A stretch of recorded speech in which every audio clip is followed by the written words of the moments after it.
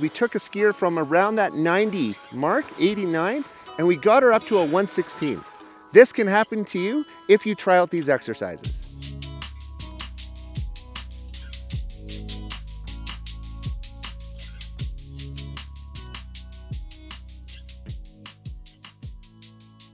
My name is Morgan. I come from Alberta, Canada. I'm a CSIA certified level 4 ski instructor. I have 27 years of ski teaching experience and 40 years of ski experience. Today, we're looking to boost you from a 90 to 100 range and above. The interesting thing about today's lesson is we worked with an actual skier and she improved her metrics within a very short amount of time. Believe it or not, it was within five runs.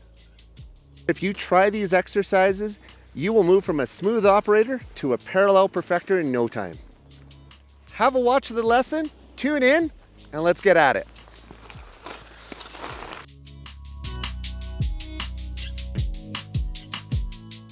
Some of the common things that we see in skiers of 90 to 100 IQ range is a lack of mobility in the joints, a rushing of the turn, and leaning up the hill at the end of the turn.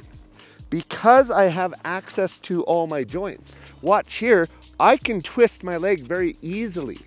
If I'm tall, I can't. The whole body becomes involved in that process. So with skiers between 90 and 100, typically what we see is a turn shape is quite pinched, it's called. So our skis do way more of this and not enough of this. Another common action that we see with skiers out there is that at the bottom of the turn, they try to get away from the bottom of the slope and they lean. By leaning, I actually have all my balance on my uphill leg. This ski can now just float around and that hinders our ability to balance on that outside ski, creating that good grip at the end of the turn that we all require. If you do these exercises, you will get better balance, better pressure, and at the end of the day, you will feel more confident on the slopes.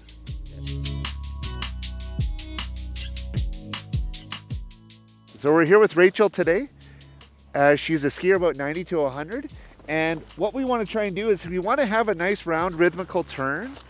Try and keep it about two to two and a half groomer tracks wide. And think to yourself that my whole thought is to make my turns as round as possible. Okay, so down here and the speed wise, just go what you're comfortable with.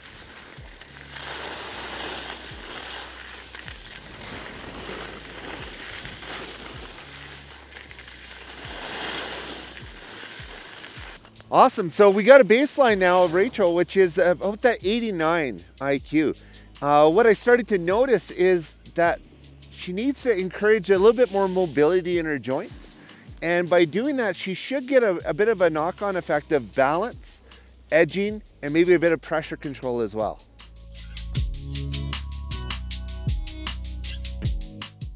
So the first drill that we're doing today, it's called a hop turn. That hop turn happens just at the beginning of the turn. And what we're going to do is, if this is the turn here, we're gonna hop right there and we're gonna land very softly. The one thing that this drill is gonna really help with is your balance metric because you'll have greater access to the fore and aft movement of your body. Rather than a lean back or a lean forward, I can do subtle movements with my joints. What we wanna try and do is bend and we're gonna extend or push off the ground very quickly to get the hop. By doing that, that's gonna allow you to recenter over top of your feet and to encourage all the joints moving. What I noticed with Rachel is she landed very hard and her joints were static and she tried to brace the landing. Then I encouraged her to land a bit softer, and by landing softer, that allowed all of her joints to bend more appropriately to manage the forces of the turn. Start out with a very gentle green train. Maybe give yourself a little bit wider slope to try it on.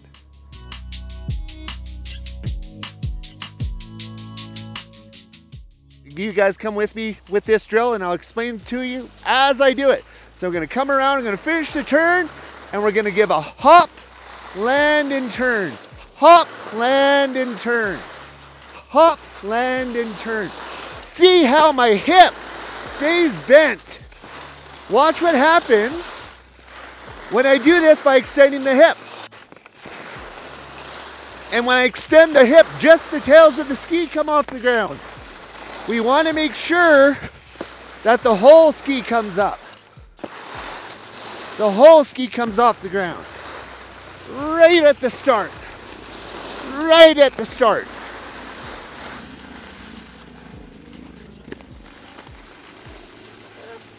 What I notice actually in Rachel skiing is at the top of the turn, she was a lot more able to turn with her legs and she was able to get a nice rounder turn shape than before.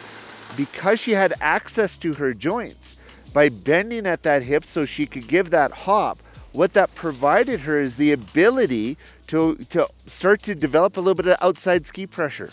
And that's what was one of the, the main things that i saw increase in those metrics. So once you start to get the sensation of being able to hop with your skis leaving the ground at equal amounts you're want to start to blend it back into your own skiing. To do that, a quick and easy way to do it is start off by doing one or two turns, still hopping, then ski, feel like you're to hop, but don't actually leave the ground. Let's see what that looks like. So as I come down here, so let's try this. So I'm going to give a hop, hop. Now I'm to try and feel like I'm hopping. Feel like I'm hopping feel like I'm hopping. All right, so by doing that exercise, what we actually achieved was a slight increase in pressure as well as the balance metric. And what that's allowing you to do now is to become more agile and mobile as you ski down.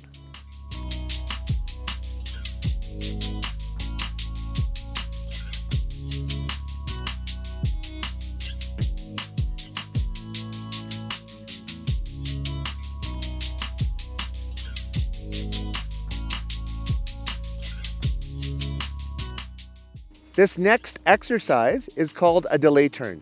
What this is gonna help you increase is your pressure and your edge metric.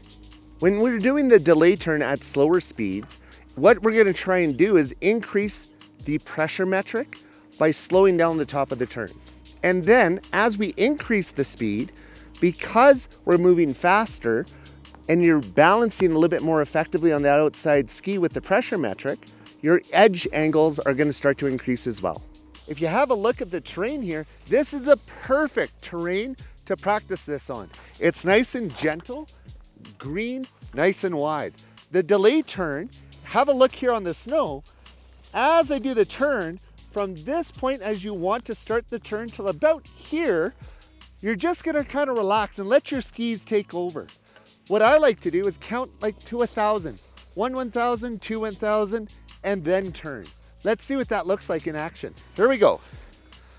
So we're going to go, let's get into a turn right here. So it's going to go one 1,000, two 1,000, turn.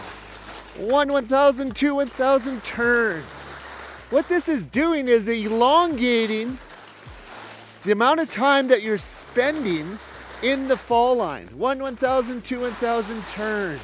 One 1,000, two. And as you do this, you're gonna find that you're gonna probably pick up a little bit of speed. That's okay. As you come around the bottom of the turn, that's what's gonna help manage your speed.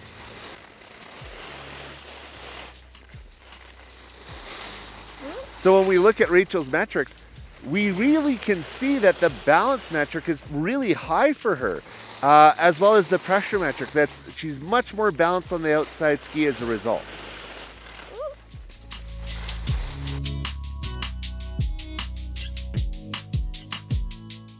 Since we're doing this on, on more of a gentle slope, what you're probably noticing is that the edge angle score, the metric, is quite low. That's okay.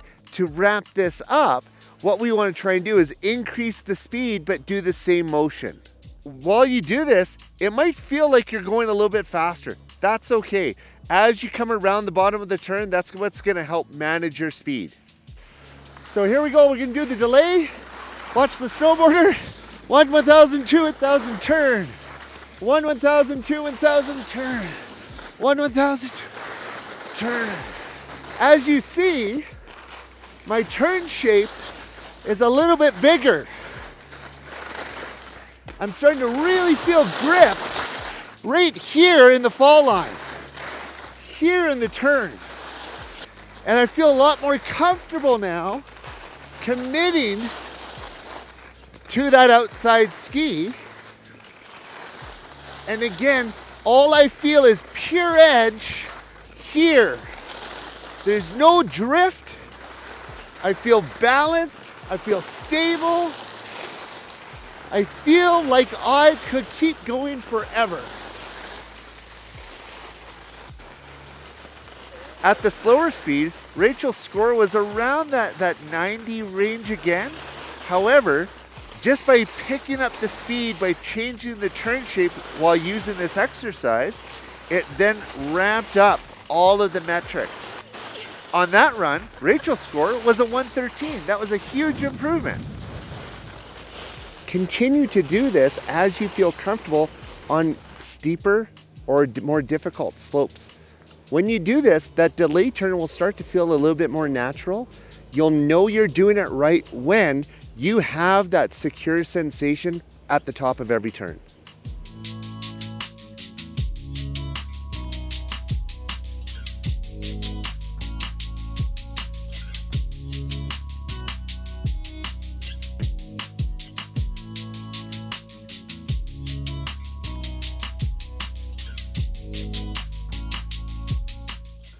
This last exercise is one of my favorites. It is called the inside ski tap turn.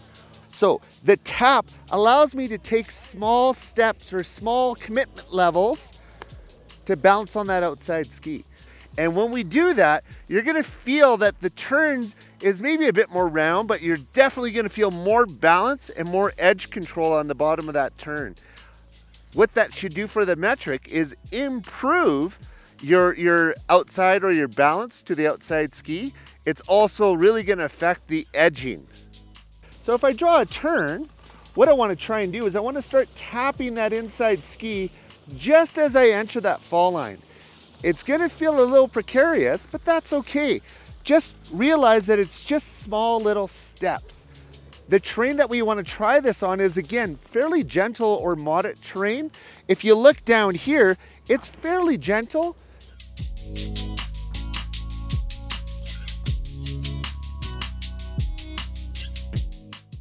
Come with me, let's do a couple of these together. So I'm gonna turn, let's get the one out of the way. As I start to turn, I'm gonna tap, tap, tap, tap, tap, tap. Watch here, I'm gonna enter the turn, tap, tap, tap. What this is gonna allow me to do is really increase my outside ski pressure. By doing this, I'm gonna have that more secure sensation which will really boost up those pressure marks.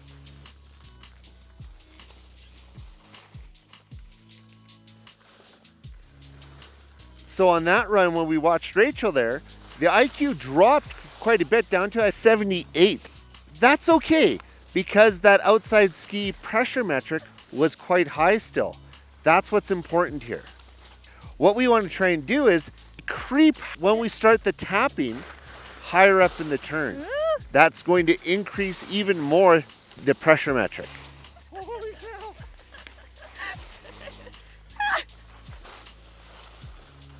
So we we increased the speed a little bit, but we also started tapping that the inside ski even earlier. By doing that, we took Rachel from a 62 to an 82 on the outside ski. That's amazing. Again, you don't have to worry about the overall IQ. That was a little bit lower than what we want, but we're perfecting one metric at a time. So if we look at the turn, what we were to begin with, we started tapping just after the fall line. We increased or we started to tap much earlier now.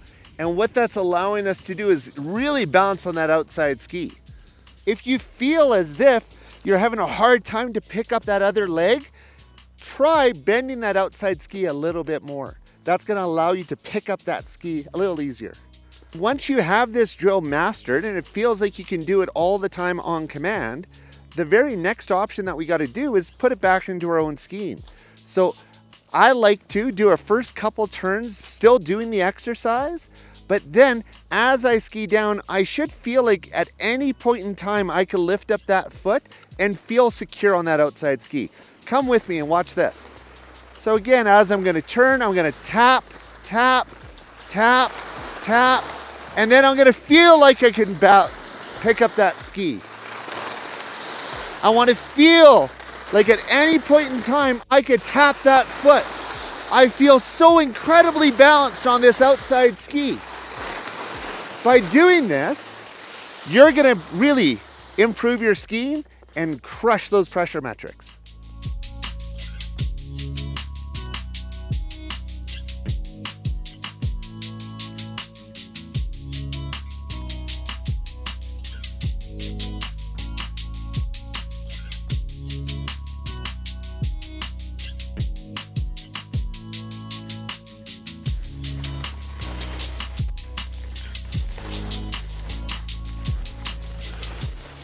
So what we did on this last lap is we started to combine all of those skills that what we worked in uh, in one run.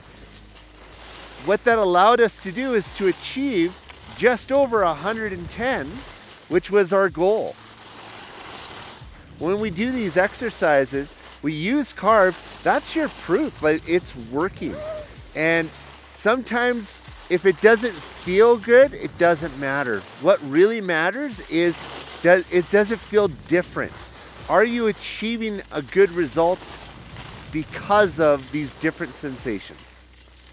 You know, the biggest takeaway from this is don't be distracted by your overall IQ dropping while you do the exercises. That is completely normal and it's okay to do. The cool thing that you're going to find is as you get comfortable and as you acquire that new skill and apply it in the situations of the run that you're on, your IQ will then increase. That is how you know you have acquired that new skill.